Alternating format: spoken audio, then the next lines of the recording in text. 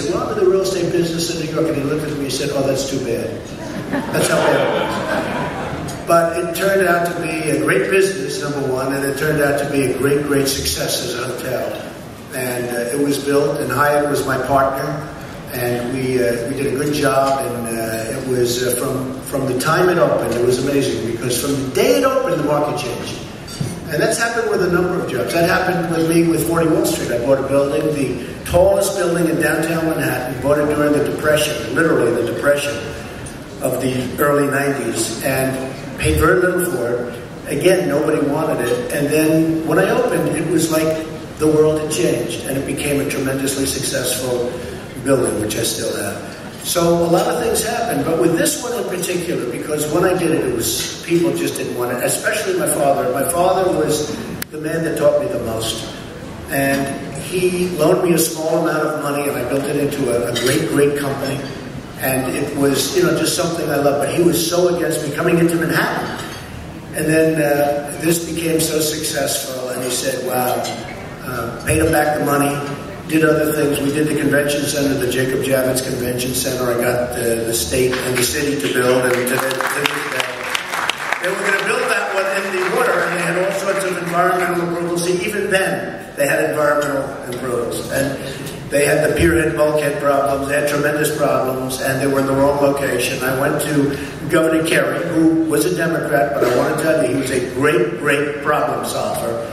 And they were spending so much money on and wasting it. They couldn't get any approval. And I went to the governor. We had a man, I won't mention his name, but he's very well known. And he was totally against what I was doing. And he just wanted to build it in this one location, which was a bad, you had to go through a Hell's Kitchen, and you had to go under the West Side Highway, you had to build ramps over the highway, you had no access, and on top of that, it was being built in the Hudson River, and you couldn't get any approvals. Other than that, it was a wonderful site. and this guy I won't mention his name. His name was Richard Ravitch. Was told. New Yorkers know that. He was so intent on building it. And I was arguing with him and fighting, and I said, look, I have the, an option to the West Side Railroad yards, and I had it for this purpose. I did it with the Penn Central Company, which was in bankruptcy. And I said, look, this, you don't have to go. It's on the proper side of the West Side Highway. The site is big. The site is good we went up to Governor Carey, and Governor Carey appointed Ravitch to head up this commission to build the convention center, and they were just about starting. And I sat down, and I'll never forget it. I sat down with Governor Hugh Carey and his staff, and he said, Ravitch, you make the case for your site. And he made a case for 20 minutes. And every time he talked, it was just wrong, wrong, wrong. He said, Donald, would you make the case? I made the case. It took me five minutes. At the end of five minutes, he says, not even close. Totally changed gears, built it, got the approvals quickly, got it built. It was called the Jacob Javits Convention Center. And to this day, goes so happy. And then I built, you know, many other buildings all over the city. I mean, I'm, I'm just uh, listing some of them, right? because this one really was where I started. This was my first. This was my first, the Grand Hyatt Hotel. And then uh, little things like the Wollman Rink. Seven years the city couldn't fix an ice skating rink. Probably, I think I became more famous because of the Wollman Rink. They had for seven years they couldn't build an ice skating rink. For seven years. And I had my daughter Ivanka. She was very. Did anybody know Ivanka? Anybody? But she was a very young girl. She kept saying, "Daddy, Daddy, can't we go ice skating?" And year after year, I'd say, "You can't. They're building the rink." And finally, I went down and I looked and I saw 400 men. In those cases, it was all men, I have to say. Today, you have men and women as your construction people, which is great. But it was all men. And 400 men sitting in the rink, not working. And I came back a half hour later, they still weren't. They were taking lunch breaks many, many times a day, and nobody was working. And they went out and they got from Miami Beach a expert on ice. But they meant refrigerators, not to make ice. And I'll never forget, sort of an interesting story. I hope it's interesting, but I got to tell it anyway, because who the hell wants to talk about politics? Politics gets a little boring. But what happened is, I went to the mayor, I said, listen, Mr. Mayor, Ed Koch, I said, it's seven years now, it's going to be eight, nine, ten, they have no idea. They use a thing called Freon, and that's a gas that goes through copper piping, copper tubing. They had six miles of copper. It had a four inches apart, and it was laid this massive rink. It's almost 90,000 square feet. That's like big, big office floors times three. Big spot, still there. You see it. I run it. I've run it for many, many years. It's been such a tremendous place. But they had the Freon, and it was laid four inches, miles it. And every time they put this beautiful copper down, every single time, the next night people would steal it. So they kept putting it down, kept getting stolen. Putting it down, kept getting stolen. Then they put the police force around, and it was fine. Until the police force decided to go to lunch, it was all stolen. So they were losing millions of dollars. They were actually in for $22 million, and they had nothing.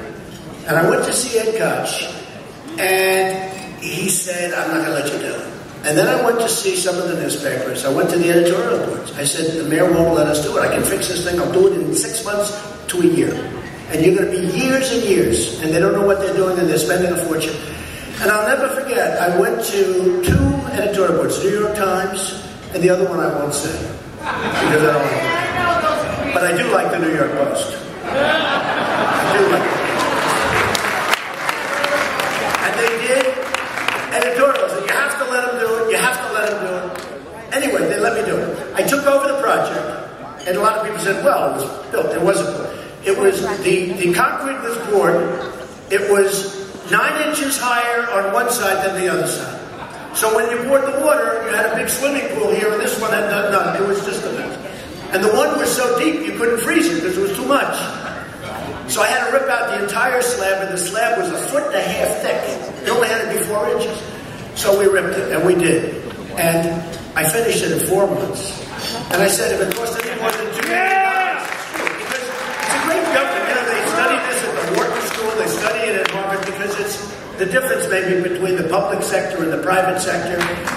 I went in, it's really been, to this day, it's a great case study. I went in and we did a job like you wouldn't believe. We took out that horrible, big, massive slab of concrete. We leveled it out. But most importantly, I said to the people, what's with this freon? I hear they're losing millions of dollars of copper tubing all the time. What is it? And I said, who are the people? And they said, well, it's an air conditioning firm from Miami. I said, from Miami? What do we, I don't want ice from Miami. So I called up a friend of mine who was a part owner of the Montreal Canadiens. Now we're talking, right? Ice. I said, would you do me a favor? Do you have anybody that knows how to make ice for an ice skating rink? He said, I have the greatest guy in the world. I said, could I talk to him, please? And he came to New York, and he saw me. He said, this is crazy. He said, Mr. Trump, they're going to have five miles of this piping. If there's a little pinhole, because it's gas, Freon gas, if there's a little pinhole, then five miles, it's, it's dead. He said, you don't want that. You want rubber hose, and you want water, and in the water you put salt so it doesn't freeze. I said, boy, that sounds good. and I went out and we bought it for just a tiny amount of money, and it was rubber hose every four inches, but it's rubber hose. We got the equipment. It's called brine. They call it brine. And we did the rubber hose. Nobody stole the rubber hose. Nobody. We didn't need, we didn't need security. Nobody stole the rubber hose. And we opened it up, and it was the most amazing thing. We put the rubber hose down, we tested it, there wasn't a leak in the whole thing.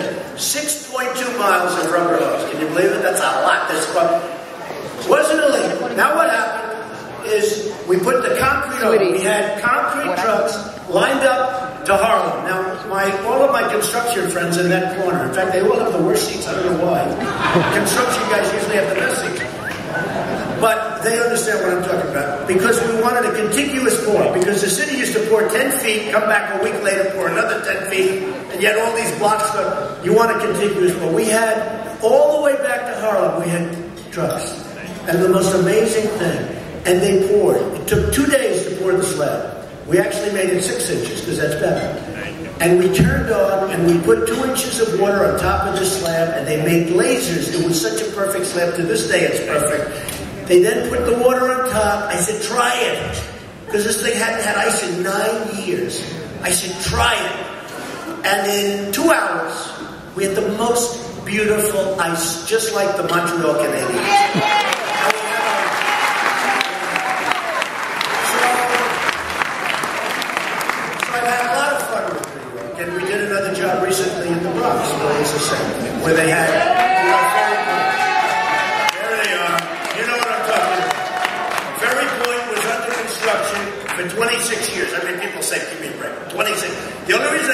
32 is because I can't be proven. 26 years. It ended up costing hundreds of millions of dollars. Nobody knows what the price is. And Michael Bloomberg said, could you do me a favor? Could you look at this? It's a disaster. It's been under construction for so many, and he was embarrassed. And it's a very big golf project designed by Jack Nicklaus and, you know, many, many iterations. But I got it built in one year, and it's open today and greatly successful. So,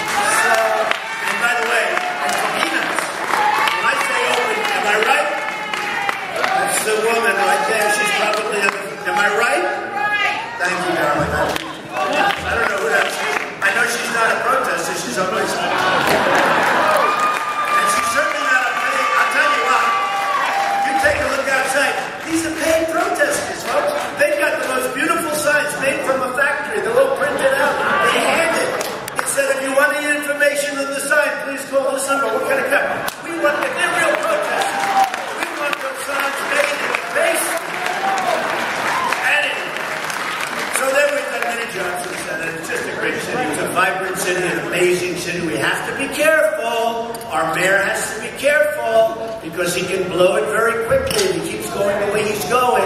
Not doing good. We better be careful, Mr. Mayor. But we have a city that outlasts the mayors. It outlasts everybody. It's going to outlast us. It's one of the great, great cities of the world, and it's called New York City.